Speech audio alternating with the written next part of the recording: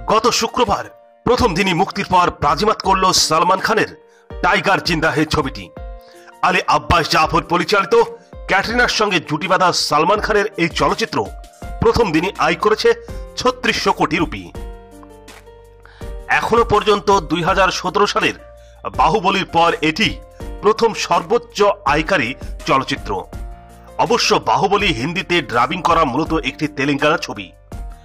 এই ছবির হিসেবে এবছর প্রথম দিনের সর্বোচ্চ আয়কারী বলিউডের সিনেমা বলা যায় টাইগার জিন্দা হেকে।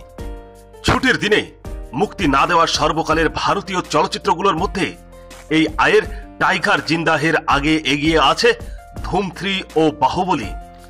নির্মাণ ও প্রচারণায় মোট দেড়শো কোটি টাকা বাজেটের টাইগার জিন্দাহেকে গড়পর্তা চলচ্চিত্র বলা হবে যদি শেষ পর্যন্ত দেড়শো কোটি রুপি আয় করতে পারে।